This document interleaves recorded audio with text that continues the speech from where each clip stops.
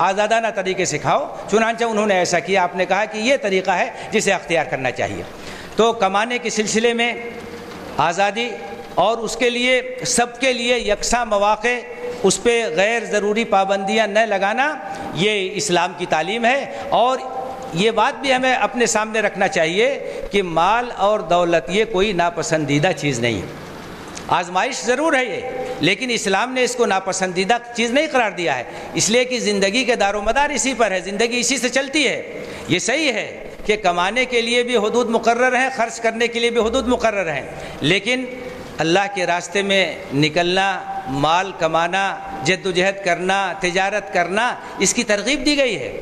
آپ نے فرمایا، التاجر الصدوق الامین مان نبیین و صدیقین و شہدا وہ تاجر جو سچائی اور ایمانداری کے ساتھ تجارت کرتا ہے، وہ انبیاء اور صدیقین کے ساتھ۔ سورہ جمعہ کے سلسلے میں آپ دیکھیں تو ہدایت ہے قرآن کی۔ تو وہاں اللہ تعالیٰ نے فرمایا فیضا بوزیت الصلاۃ فانتشروا فی الارض وابتغوا من فضل اللہ کہ نماز جب ہو جائے، زمین میں پھیل جاؤ اور اللہ کا رزق تلاش کرو۔ تو اسلام نے اس کی ترغیب دی ہے کہ آدمی محنت کرے، دوڑ دھوپ کرے، اس میں برکت ہوتی ہے، اس کی فضیلت ہے اور وہ آدمی جو محنت کرتا ہے، اسے پسندیدہ قرار دیا گیا ہے۔ آپ نے کہا المومن القوی خیر من المومن الضعیف صحت مند اور طاقتور مومن جو محنت کرتا ہے، جدوجہد کرتا ہے، وہ ضعیف اور کمزور مومن کے مقابلے میں بہتر ہے۔ تو کمانے کے مواقع، آگے بڑھنے کے مواقع، اسی طریقے سے منصفانہ تقسیم۔ کہ جو وسائل ہیں ملک کے، اس پر سب کا حق ہے، کسی کی اجارہ داری نہیں ہے۔ آپ دیکھیے، بادشاہت کے نظام میں بادشاہ سمجھتا ہے کہ اس کی سب جاگیر ہے، جس طریقے سے چاہے اپنے اوپر اور اپنے خاندان کے اوپر استعمال کرے۔ جمہوری دور میں جن کی حکومت ہوتی ہے، وہ سمجھتے ہیں کہ ہمارا حق ہے، جس طریقے سے چاہے اس کو استعمال کریں، کوئی جواب دہ نہیں ہے۔ لیکن اسلام نے یہ تصور دیا ہے کہ آپ کو اگر حکمراں بنایا گیا ہے، آپ کو اگر یہ موقع ملا ہے، تو ملک کے جو وسائل ہیں، وہ ایک امانت ہے اور اس امانت کو پوری دیانت کے ساتھ استعمال کرنا ہے۔ ہمارے خلفاء نے جو مثال قائم کیا خلفاء راشدین، اور بعد کے خلفاء نے، اس کی مثال تاریخ میں نہیں ملے گی کہ کتنے احتیاط کے ساتھ وہ بیت المال کی چیزوں کو استعمال کرتے تھے۔ حضرت عمر ابن عبدالعزیز رضی اللہ تعالیٰ عنہ کا آپ حالات پڑھیے کہ کتنی سختی کے ساتھ وہ اس بات کی کوشش کرتے تھے کہ ان کے بال بچے بیت المال سے کوئی غلط استعمال نہ کرنے پائیں۔ تو آج ایک بہت بڑا مسئلہ یہ ہے، ایک بہت بڑا فتنہ یہ ہے کہ جن کو موقع ملتا ہے، وہ ملک کے وسائل کا غلط استعمال کرتے ہیں۔ اسلام کی تعلیم یہ ہے کہ اس کی تقسیم منصفانہ ہونی چاہیے۔ آپ دیکھیں، خود ہمارے ملک کے اندر وسائل کی کمی نہیں ہے۔ یہاں سادھنوں کی کمی نہیں ہے۔ اصل مسئلہ یہ ہے کہ منصفانہ تقسیم نہیں ہے۔ غریبوں کو ان کا حق نہیں ملتا ہے۔ اس لیے جو امیر ہے، وہ امیر سے امیر تر ہوتا جا رہا ہے۔ اور جو غریب ہے، وہ غریب سے غریب تر ہوتا جا رہا ہے۔ اور اتنا فاصلہ ہو گیا ہے، اتنا فرق ہو گیا ہے کہ کسی نے صحیح کہا کہ کچھ غریب کے بچے بھوک سے تڑپتے ہیں۔ کچھ غریب کے بچے بھوک سے تڑپتے ہیں اور کچھ امیر زادوں کو ذائقہ نہیں ملتا۔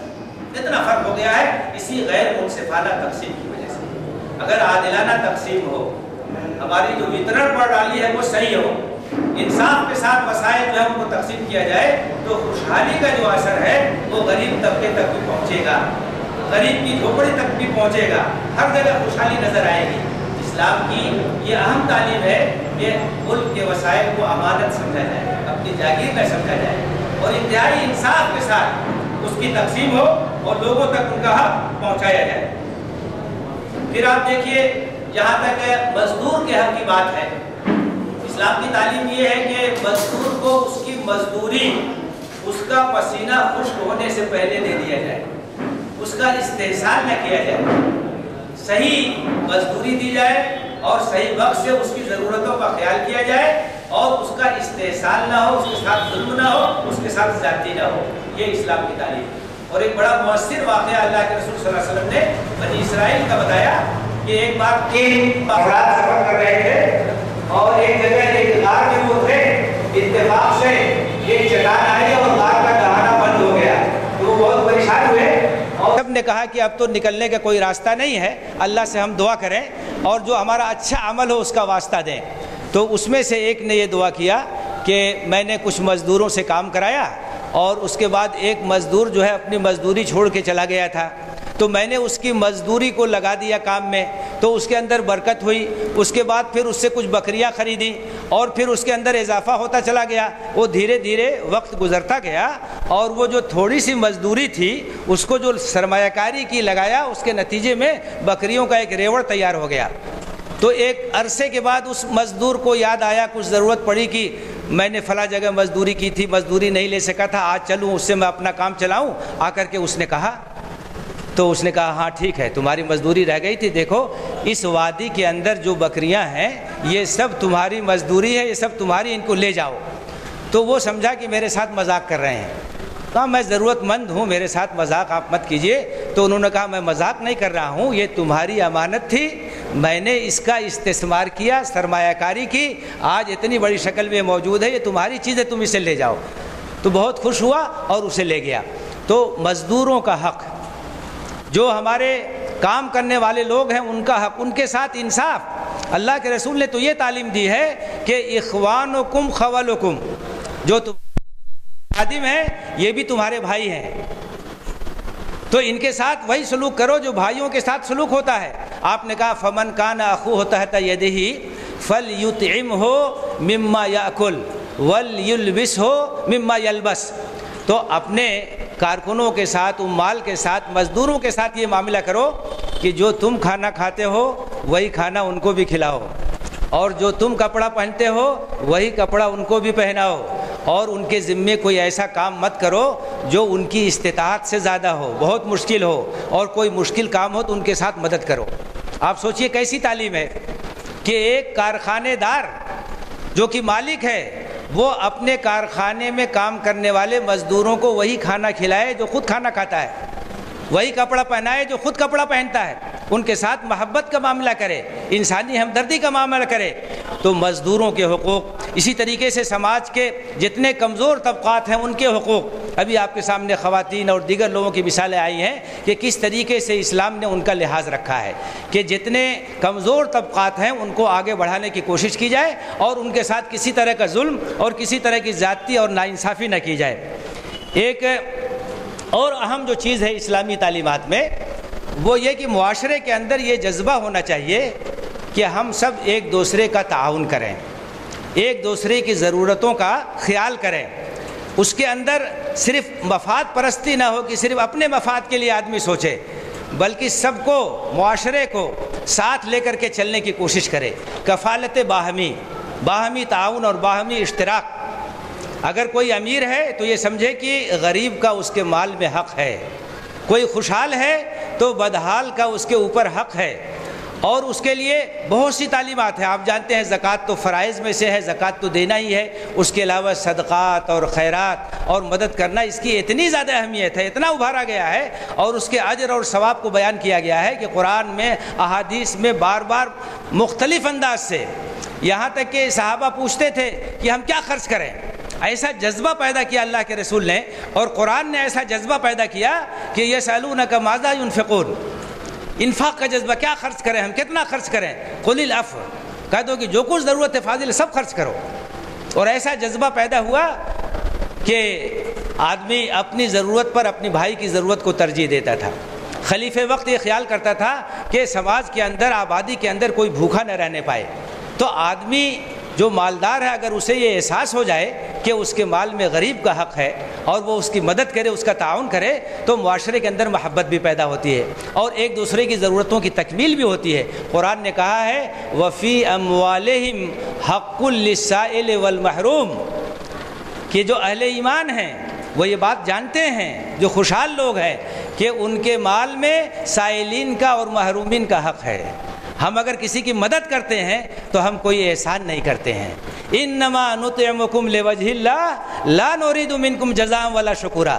ہم اگر تمہیں کھلاتے ہیں تو اللہ کی رضا کے لیے کھلاتے ہیں، ہمیں کوئی شکریہ نہیں چاہیے۔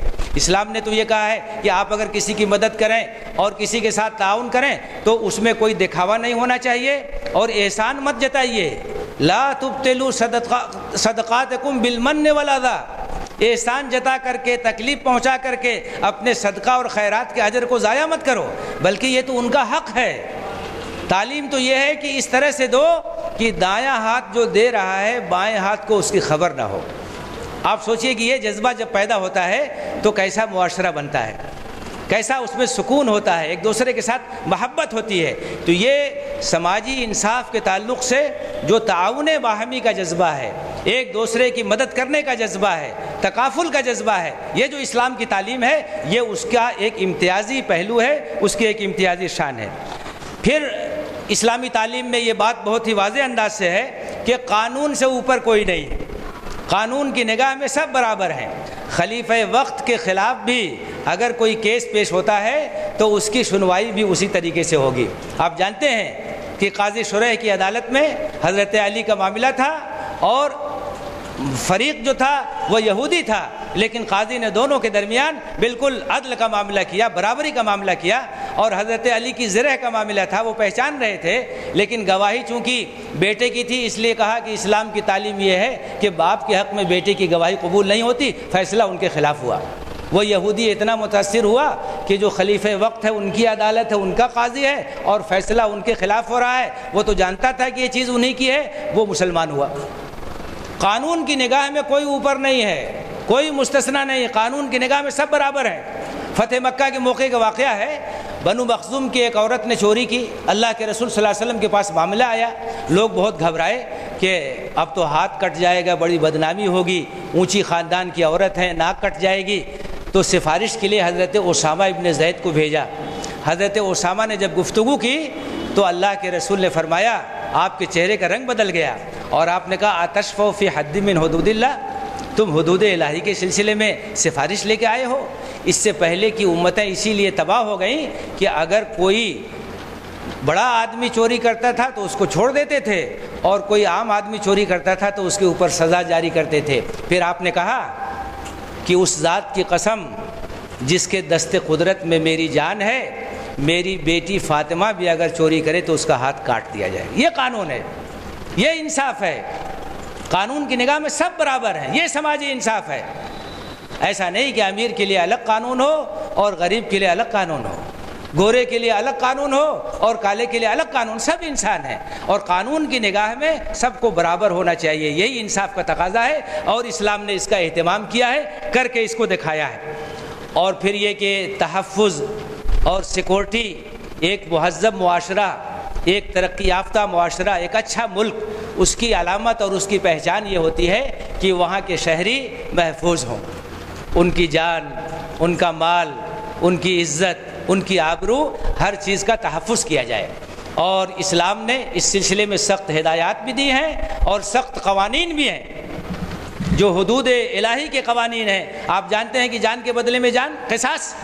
اور قرآن نے کہا وہ لقم فل قصاص حیاتن یا ولی الباب بڑی مؤثر آیت ہے۔ قرآن کہتا ہے کہ جہاں قصاص ہوگا وہاں زندگی ہوگی۔ حالانکہ دیکھنے میں تو موت ہو رہی ہے۔ قصاص میں آدمی مارا جا رہا ہے، لیکن جس سماج میں قصاص نافذ ہوگا، وہاں قتل کرنے سے پہلے سو بار آدمی سوچے گا۔ اور جہاں قانون سخت نہیں ہوگا، وہاں قتل اور خوریزی عام ہوگی۔ تو قصاص کا قانون ہے۔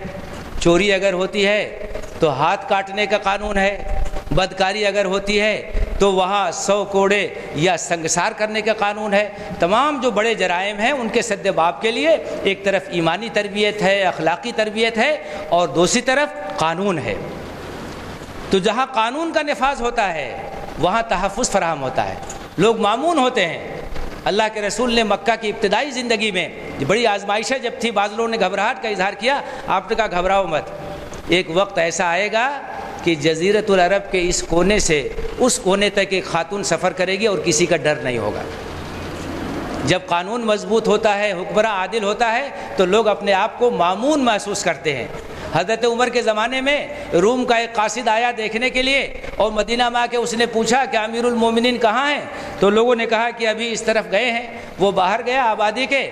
تو اس نے دیکھا کہ ایک درخت کی جڑ پہ سر رکھ کر کے حضرت عمر سو رہے ہیں۔ وہ حکمراں جس سے لوگ تھراتے تھے اور جس کے حدود مملکت بہت وسیع تھے، جس کا ایک روپ تھا، اس نے یہ دیکھا کہ باہر سنسان جگہ پر ایک درخت کی جڑ کے اوپر سر رکھ کر کے سو رہے۔ تو اس نے کہا عدلتا ف امنتا فنمتا و ملک ونا یجور و فلا یزال و فن یترقب۔ انہوں نے کہا کہ آپ چونکہ انصاف سے کام کرتے ہیں، اس لیے آپ کو کوئی ڈر نہیں ہے اور آپ سکون کے ساتھ سو رہے ہیں۔ کوئی اندیشہ نہیں ہے، کوئی سیکورٹی نہیں ہے۔ اور ہمارا بادشاہ تو ظلم کرتا، ہر وقت ڈرتا رہتا ہے۔ سیکورٹی میں رہتا ہے تو وہاں بھی ڈرتا رہتا ہے۔ تو عدل اور انصاف جب ہوگا اور قانون کا جب نفاذ ہوگا تو معاشرے کے اندر امن قائم ہوگا۔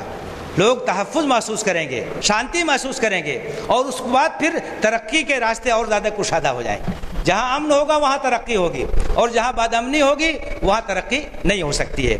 تو اسلام کی یہ جو اعلیٰ تعلیمات ہیں سماجی انصاف کے لیے، یہ انتہائی شاندار اپنی تاریخ رکھتی ہیں۔ قرآن حدیث میں اس کی تاکید ہے اور اسلام کا امتیاز یہ ہے کہ جو قانون وہ دیتا ہے، جو ہدایات دیتا ہے، اس کے پیچھے ایمان کی طاقت ہوتی ہے۔ اس کے پیچھے اللہ کے سامنے جواب دہی کا احساس ہوتا ہے، اس کے پیچھے آخرت کی فکر ہوتی ہے، اس لیے دل سے آدمی اس پر عمل کرتا ہے۔ چاہے کوئی دیکھنے والا ہو یا دیکھنے والا نہ ہو، یہ اسلامی تعلیمات کی خوبی ہے، اسلامی قانون کی خوبی ہے کہ اس کے پیچھے ایک زبردست محرک ہے، ایک زبردست طاقت ہے جو عمل پر آمادہ کرتی ہے۔ آج ضرورت اس بات کی ہے کہ ہم اس کا تعارف بھی کرائیں، لوگوں تک اسے پہنچائیں اور خود اپنے معاشرے میں اس کی مثال قائم کرنے کی کوشش کریں۔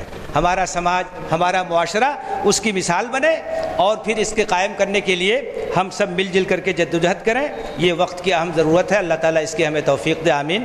واخر دعوانا ان الحمد للہ رب العالمین۔ جزاک اللہ قیرن کثیرہ حضرات، ابھی آپ نے حضرت مولانا محمد طاہر مدنی صاحب کو سماعت فرمایا۔ اللہ تعالیٰ آپ کو جزائے خیر عطا فرمائے۔ ہمارے درمیان پیس ٹی وی کے ایک اور مقرر حضرت مولانا محمد مصطفیٰ ندوی مدنی صاحب تشریف رکھتے ہیں۔ ان کی دعاؤں پر اس پروگرام کا اختتام ہوگا انشاءاللہ۔ چند ایک اعلانات ہیں، وہ آپ سماعت فرما لیں۔ پہلا یہ کہ ہم نے پروگرام کی اطلاع دینے کے لیے آپ کو ایس ایم ایس کے ذریعے ایس ایم ایس کا ذریعہ بنایا ہوا ہے۔ جو لوگ ہمارے پروگرامز کی اطلاع اپنے موبائل پر ایس ایم ایس کے ذریعے چاہتے ہیں اور وہ تقوی اسلامک اسکول کے بچوں کے پیرنٹس نہیں ہیں۔ اور پچھلے پچھلے ماہ جن لوگوں نے فارم نہیں بھرے ہیں، وہ اپنا فارم یہاں بھر کر اپنا نمبر درج کرا دیں تو ہمارے ہر پروگرام کی اطلاع آپ کو ایس ایم ایس کے ذریعے مل جایا کرے گی۔ جو لوگ پہلے فارم بھر چکے ہیں، انہیں فارم بھرنے کی ضرورت نہیں ہے یا جن کے بچے تقوی اسلامک اسکول میں پڑھتے ہیں، ان کو فارم بھرنے کی ضرورت نہیں ہے۔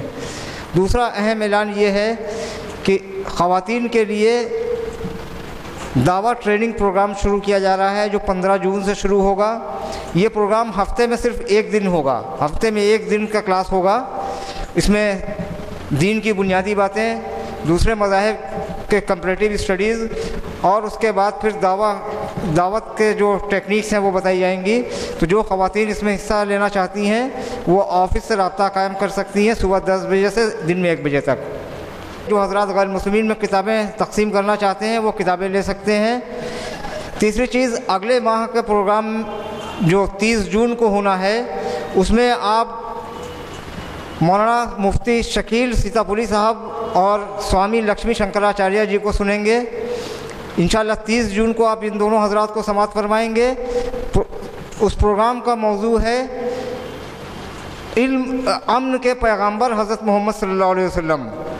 اس پہ سوامی لکشمی شنکراچاریہ جی مفتی شکیل سیتا پوری صاحب اس خطاب فرمائیں گے۔